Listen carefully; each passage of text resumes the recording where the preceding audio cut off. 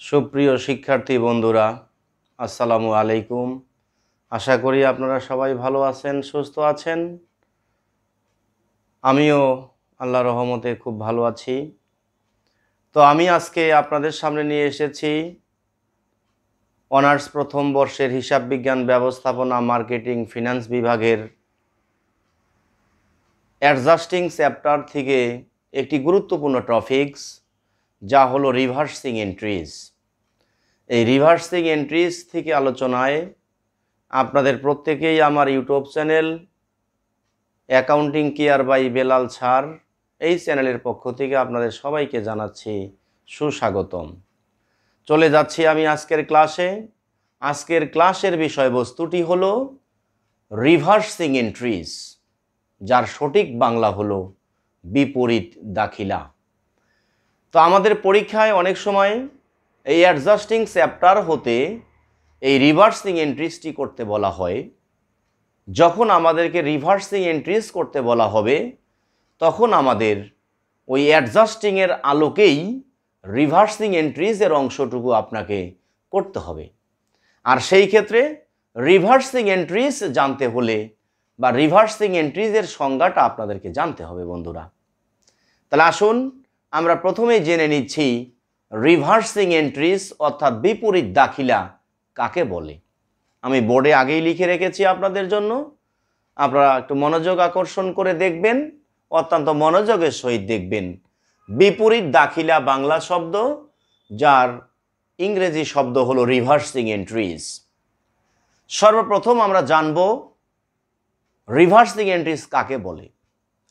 সকল প্রকার খরচের বকেয়া খরচের অগ্রিম, আয়ের বকেয়া ও অগ্রিম আয়ের ক্ষেত্রে অ্যাডজাস্টিং জার্নালে প্রদত্ত ডেবিটকে ক্রেডিট এবং ক্রেডিটকে ডেবিট করে যে সকল দাখিলা তৈরি করা হয়, তাদেরকেই রিভার্সিং এন্ট্রিজ বা বিপরীত দাখিলা বলে। তাহলে এই রিভার্সিং এন্ট্রিজের সংজ্ঞা থেকে আমরা বুঝতে পারতেছি যে সর্বপ্রথম আমাদেরকে অ্যাডজাস্টিং জার্নালের ব্যাপার এখানে লক্ষ্য করা যাচ্ছে, বন্ধুরা। অর্থাৎ বলা হয়েছে যে অ্যাডজাস্টিং এন্ট্রিতে প্রদত্ত ডেবিটকে ক্রেডিট এবং ক্রেডিটকে ডেবিট করতে হবে। তার মানে দাঁড়াল রিভার্সিং এন্ট্রিজ করিবার আগে আমাদেরকে অ্যাডজাস্টিং জার্নাল করতে হবে। রিভার্সিং করিবার আগে আমাদেরকে অ্যাডজাস্টিং এন্ট্রিজ করতে হবে। অ্যাডজাস্টিং এন্ট্রি করার পর রিভার্সিং এন্ট্রি করতে হবে, এই কারণেই করতে হবে। যেহেতু আমাদের বলা হয়েছে অ্যাডজাস্টিং জার্নালে যেটা আছে ডেবিটটাকে ক্রেডিট করব এবং ক্রেডিটটাকে আমি ডেবিট করব। তাহলে কার ডেবিট কার ক্রেডিট সকল প্রকার বকেয়া খরচ, বকেয়া আয়, অগ্রিম খরচ এবং অগ্রিম আয়। এই চারটি উপাদান কিন্তু আমাদেরকে অবশ্যই সুদৃষ্টি দিতে হবে। বা আমাদেরকে জানতে হবে, এই চারটি উপাদান ছাড়া অন্য কোনো উপাদান এখানে আসবে না। তাহলে আমরা সংজ্ঞা থেকে বিশ্লেষণ করে পেলাম যে চারটি উপাদান রিভার্সিং এন্ট্রিজে হয়। কয়টা এন্ট্রি হয়? চারটি উপাদান কিন্তু আমাদের হয় এখানে।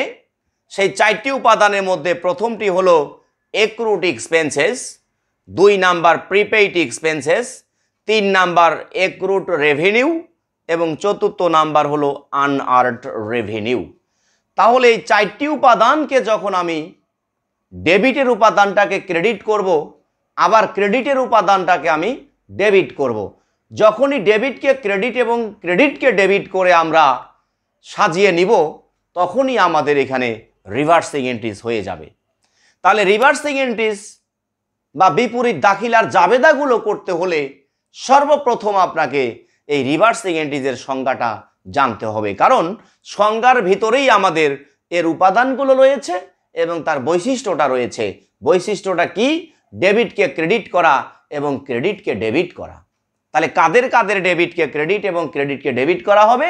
সেই চারটি মূল উপাদান হলো accrued expenses prepaid expenses accrued revenue এবং আনআর্ট রেভিনিউ তাহলে এখন আমি একটি উদাহরণের সাহায্যে এই বিষয়টি আপনাদের ক্লিয়ার করার চেষ্টা করতেছি।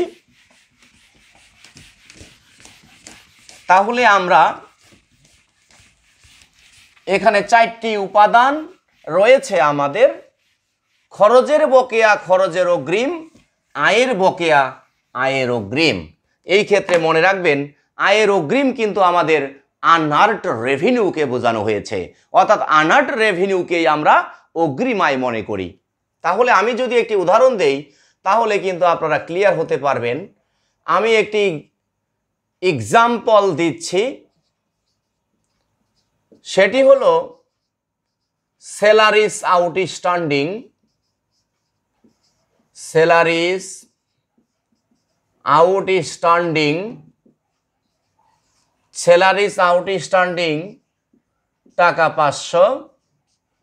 তাহলে এটা একটি আমাদের সমন্বয় দাখিলার এন্ট্রি মনে হচ্ছে যে আমরা জানি স্যালারিসটা হলো বেতন আউটস্ট্যান্ডিংয়ের বাংলা হলো বকেয়া। তবে সেই ক্ষেত্রে আপনি জানেন যে বকেয়ার কতিপয় ইংরেজি রয়েছে accrued outstanding unpaid not paid due এগুলো কিন্তু আমাদের বকেয়া অর্থে মূল্যায়ন করা হয়। তাহলে স্যালারিস আউটস্ট্যান্ডিং হোক আর রেন্ট আউটস্ট্যান্ডিং হোক বা ওয়েজেস আউটস্ট্যান্ডিং হোক না কেন আউটস্ট্যান্ডিং মানে বকেয়া, অর্থাৎ খরচের বকেয়া। আমরা কিন্তু বলেছি, সেটা খরচের বকেয়া হোক আর আয়ের বকেয়া হোক, খরচের অগ্রিম হোক আর আয়ের অগ্রিম হোক, সেটা কিন্তু অ্যাডজাস্টিংয়ের উপরে ডিপেন্ড করবে। অর্থাৎ অ্যাডজাস্টিং ছাড়া কখনো রিভার্সিং করা যাবে না। তাহলে আমরা এখান থেকে একটা জিনিস বুঝতে পারি, সেটি হলো, শুধুমাত্র যদি আমাদেরকে রিভার্সিং এন্ট্রিজ করতে বলা হয় তারপরেও এই রিভার্সিং এন্ট্রিসটা করতে গেলে সর্বপ্রথম আমাকে করতে হবে অ্যাডজাস্টিং এন্ট্রিজ এবং তারপরে সেই অ্যাডজাস্টিংয়ের আলোকে করতে হবে আমাদের রিভার্সিং এন্ট্রিজ তাহলে স্যালারিস আউটস্ট্যান্ডিংটাকে বলা হয়েছে বেতন বকেয়া। স্যালারিস আউটস্ট্যান্ডিংকে বলা হচ্ছে আমাদের বেতন বকেয়া, অর্থাৎ বেতন বকেয়া পাঁচশো টাকা। তাহলে বেতন বকেয়া কিন্তু একটি খরচের বকেয়া। আর খরচের বকেয়ার ক্ষেত্রে রিভার্সিং এন্ট্রিজ প্রয়োগ করতে হবে। তবে রিভার্সিং এন্ট্রিজ প্রয়োগ করতে হলে অবশ্যই আপনাকে আগে অ্যাডজাস্টিং এন্ট্রিজ প্রয়োগ করতে হবে। তাহলে অ্যাডজাস্টিং এন্ট্রিজটা প্রয়োগ করে তারপরে আপনাকে রিভার্সিং এন্ট্রিজে আসতে হবে বন্ধুরা। তাহলে স্যালারিজ আউটস্ট্যান্ডিং মানে হলো বেতন বকেয়া। এই বেতন বকেয়ার ক্ষেত্রে আগে আমাকে অ্যাডজাস্টিং করতে হবে এবং তারপরে আমাকে রিভার্সিং এন্ট্রিজে প্রয়োগ করতে হবে বন্ধুরা। তাহলে স্যালারিজ আউটস্ট্যান্ডিং মানে হলো বেতন বকেয়া, অর্থাৎ একটি যখন খরচ বকেয়া থাকে, আমরা তার অ্যাডজাস্টিং এন্ট্রিটা কিন্তু জানি যে salaries expenses debit salaries expenses debit আর অ্যাঙ্গেল করে লিখতে হবে আমাদের স্যালারিস পেবল ক্রেডিট তাহলে এখানে যে বিষয়টি অত্যন্ত গুরুত্বপূর্ণ, টাকা কিন্তু যত থাকবে ততই আমাদের ব্যবহার হবে ডেবিট এবং ক্রেডিট দিকে। তাহলে একটি টাকা ডেবিট হয়, একটি টাকা ক্রেডিট হয়, এটা আমরা পূর্বেই জেনেছি। তাহলে যখন আমি খরচ বকেয়ার অ্যাডজাস্টিং জাবেদা দেখাবো, তখন কিন্তু সংশ্লিষ্ট খরচের নামটি ডেবিট হয় এবং সংশ্লিষ্ট খরচের নাম পেবল ক্রেডিট হয়। এই দৃষ্টিকোণ থেকে যেহেতু স্যালারিজ বকেয়া রয়েছে, এই কারণে আমি লিখেছি salaries expenses debit salaries payable credit এখন এই অ্যাডজাস্টিংয়ের এন্ট্রিটাকে যখন আমি রিভার্সিং এন্ট্রিজে প্রয়োগ করব, তখন কিন্তু ডেবিটের উপাদানটা হয়ে যাবে ক্রেডিট আর ক্রেডিটের উপাদানটা হয়ে যাবে ডেবিট। তাহলে আমাদের রিভার্সিং এন্ট্রিজ হয়ে যাবে। তাহলে এইখানে আমাদের জাবেদাটা হচ্ছে আমাদের,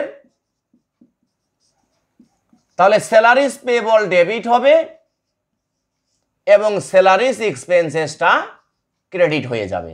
আমরা যেহেতু আগেই বর্ণনা করেছি যে অ্যাডজাস্টিং জার্নালের বিষয়টাই হলো বা রিভার্সিং এন্ট্রিজের বিষয়টা হলো অ্যাডজাস্টিং রে ফলো করতে হবে অ্যাডজাস্টিংটাকে শুধুমাত্র উল্টিয়ে লিখতে হবে, অর্থাৎ ডেবিটকে ক্রেডিট এবং ক্রেডিটকে ডেবিট করে লিখতে হবে, যেটি আমরা ইতিমধ্যে লিখে ফেলেছি। তাহলে আমি কিন্তু ইতিমধ্যে লিখেছি যে খরচের একটি বকে আমি দেখিয়েছি, তাহলে এখন একটি আমি আয়ের বকেয়া দেখাচ্ছি আপনাদের। তাহলে আমি একটি প্রথমে খরচের বকেয়া দেখালাম এখন আমি আপনাদের আয়ের বকেয়াটুকু দেখাচ্ছি, বন্ধুরা। তাহলে আয়ের বকেয়াটা যদি আমি লিখতে চাই, তাহলে লিখব service provided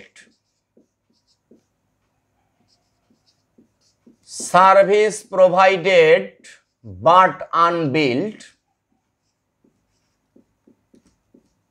service provided but unbilled টাকা এক হাজার। এখানে বলা হচ্ছে সার্ভিস মানে সেবা, প্রোভাইডেড মানে প্রদান করা, বাট মানে কিন্তু আনবিল্ট মানে না পাওয়া। আমি আরেকবার বলতে চাই, সার্ভিস মানে সেবা, প্রোভাইডেড মানে প্রদান করা, বাট মানে কিন্তু আনবিল্ট মানে না পাওয়া। তাহলে সার্বিক অর্থ দাঁড়াল, সেবা প্রদান করা হয়েছে, কিন্তু টাকা পাওয়া যায়নি। আমি সেবা প্রদান করে ফেলেছি টাকা পাওয়ার কথা ছিল, কিন্তু আমি কোনো প্রকার টাকা পয়সা পাইনি, অর্থাৎ সেবা কিন্তু অলরেডি আমি দিয়ে ফেলেছি। তাহলে সেবা প্রদান করেছি, কিন্তু টাকা আমি পাইনি, অর্থাৎ এটা আয় বকেয়া। তাহলে আয় বকেয়ার ক্ষেত্রে যখন আমি রিভার্সিং করব, কিন্তু আমরা তো শর্ত আরোপ করেছিলাম আগেই, সেটি হলো রিভার্সিং শুধুমাত্র রিভার্সিং করতে হলেও আগে আমাকে অ্যাডজাস্টিং করতে হবে এবং সেই অ্যাডজাস্টিংয়ের আলোকে আমাকে রিভার্সিং করতে হবে। তাহলে বলা হয়েছে কি? Service provided but unbilled service মানে সেবা প্রোভাইডেড মানে প্রদান করা বাট মানে কিন্তু আনবিল্ড মানে না পাওয়া। অর্থাৎ সেবা প্রদান করা হয়েছে, কিন্তু টাকা পাওয়া যায় নাই। সেবা প্রদান করে যদি টাকা না পাওয়া যায়, তাহলে সেটাকে আয়ের বকেয়া বলা হয়। আর আয়ের বকেয়া কিন্তু রিভার্সিংয়ের একটি উপাদান। অর্থাৎ আমি রিভার্সিংয়ের যে চারটি উপাদান দিয়েছি accrued expenses prepaid expenses accrued revenue এবং আনাট রেভিনিউ তার মধ্যে তিন নাম্বার অপশনটা ছিল এক্রুট রেভিনিউ আর এটা আমাদের সেই এক্রুট রেভিনিউ অর্থাৎ আয় বকেয়ার মধ্যে পড়ে গেছে বন্ধুরা। তো সেই দৃষ্টিকোণ থেকে যেহেতু এটা আমাদের আয়ের বকেয়া, আর আয়ের বকেয়া কিন্তু আমাদের রিভার্সিং এন্ট্রিজের আওতাভুক্ত হবে, এই কারণেই রিভার্সিং এন্ট্রিজে প্রয়োগ করতে হলে সেটি আগে আমাদের অ্যাডজাস্টিং জাবেদা করতে হবে এবং তারপরে রিভার্সিং এতে সেটা প্রয়োগ করতে হবে। তাহলে সার্ভিস প্রোভাইডেড বাট আনবিল্ড অর্থাৎ সেবা প্রদান করা হয়েছে, কিন্তু টাকা পাওয়া যায় নাই। এটাকে বলা হয় আয় বকেয়া। আর আয় বকেয়ার জাবেদা আপনি জানেন যে অ্যাকাউন্টস রিসিভেবল ডেবিট অ্যাঙ্গেল করে হবে আপনার সার্ভিস রেভিনিউ ক্রেডিট আমরা আগেও বলেছিলাম যে এ যুগে আর ডেবিট ক্রেডিট লেখা যায় না বানান করে অ্যাঙ্গেল করে লিখতে হয়। অ্যাঙ্গেল করে লিখলেই আমাদের বর্তমান আধুনিক হিসাব ব্যবস্থায় ডেবিট ক্রেডিট হয়ে যায়। তাহলে আমরা যখন সেবা প্রদান করেছি এবং সেটা বাকিতে সেবা প্রদান করেছি। বাকিতে সেবা প্রদান করা হলেই কিন্তু তার সমন্বয় জাবেদা হয়। Accounts receivable debit service revenue credit এখন আমি যখন এই আয় বকেয়াকেই যখন আমি রিভার্সিংয়ে রূপান্তর করব বা রিভার্সিংয়ে নির্ণয় করব বা অ্যাডজাস্টিংয়ে আমি কি করব, বিপরীত দাখিলাই প্রয়োগ দেখাবো, তখন কিন্তু আমাকে কি করতে হবে? আমরা সংজ্ঞাতে বলেছিলাম, ডেবিটকে ক্রেডিট করতে হবে এবং ক্রেডিটকে ডেবিট করতে হবে। যখন ক্রেডিটকে ডেবিট এবং ডেবিটকে ক্রেডিট করে যে দাখিলাটা আমরা তৈরি করব, সেটাই কিন্তু মূলত রিভার্সিং এন্ট্রিজ। এই দৃষ্টিকোণ থেকে আমরা এখন কি করব? আয় বকেয়ার ক্ষেত্রে যে জাবেদাটা আমরা করেছি, সেই জাবেদার ডেবিটটাকে ক্রেডিট করব এবং ক্রেডিটটাকে ডেবিট করে দেখাবো। তাহলে সেটাই হয়ে যাবে আমাদের বিপরীত দাখিলা, অর্থাৎ রিভার্সিং এন্ট্রিজ। তাহলে আয় বকেয়ার জাবেদাটাকে আমরা কি করব? উল্টিয়ে লিখব, অর্থাৎ ডেবিটকে ক্রেডিট করে দিব আর ক্রেডিটটাকে ডেবিটে নিয়ে আসব। এই কারণে এটা ছিল ক্রেডিট, কিন্তু সার্ভিসটা হয়ে গেল ডেবিট। আবার অ্যাকাউন্টস রিসিভেবল ছিল ডেবিট, এখন কিন্তু রিভার্সিংয়ের আন্ডার করার জন্য বা রিভার্সিংয়ে আসার জন্য এটা উল্টিয়ে চলে, উল্টে চলে যাবে, অর্থাৎ ডেবিটটা ক্রেডিটে চলে গেল এবং ক্রেডিটটা কিন্তু ডেবিটে চলে এসেছে। এটাই হলো আমাদের রিভার্সিং এন্ট্রিজের প্রয়োগ। তাহলে আমি আপনাদের সামনে উত্থাপন করলাম রিভার্সিং এন্ট্রিজ কাকে বলে? রিভার্সিং এন্ট্রিজের মূল উপাদান কয়টি এবং কি কি? এবং সর্বশেষ আমি দুইটি উদাহরণের মাধ্যমে আপনাদের বোঝানোর চেষ্টা করেছি যে আসলে বিপরীত দাখিলা কীভাবে তৈরি করতে হয় বা কীভাবে প্রয়োগ করতে হয়, কীভাবে রচনা করতে হয়, কীভাবে লিখতে হয়। তো আসেন আপনারা যদি আজকে আমি যে বিষয়টি উত্থাপন করেছি, এটি যদি আপনারা ভালোভাবে আয়ত্ত করতে পারেন, ভালোভাবে পড়তে পারেন বা ভালোভাবে যদি অনুধাবন করতে পারেন বা প্রয়োগটা যদি শিখতে পারেন, উপাদানগুলো যদি মনে রাখতে পারেন, তাহলে আপনার রিভার্সিং এন্ট্রিজ যেখান থেকে আসুক না কেন, আপনি রিভার্সিং এন্ট্রিজের অঙ্ক অবশ্যই সমাধান করতে পারবেন। আর কোনো সমস্যা থাকবে না। তো আমি বিদায় নিচ্ছি। আজকের এই রিভার্সিং এন্ট্রিজ থেকে আপনাদের সাথে দেখা হবে। আবারও অন্য কোনো সাবজেক্টের অন্য কোনো বিষয় নিয়ে আপনাদের সাথে দেখা হবে। সে নাগাদ সবাই সুস্থ থাকেন, ভালো থাকেন, আমার জন্য দোয়া রাখবেন এবং আপনারা ভালোভাবে পড়াশোনাটা চালিয়ে যাবেন। আল্লাহ হাফেজ। আসসালামু আলাইকুম ও রহমতুল্লাহি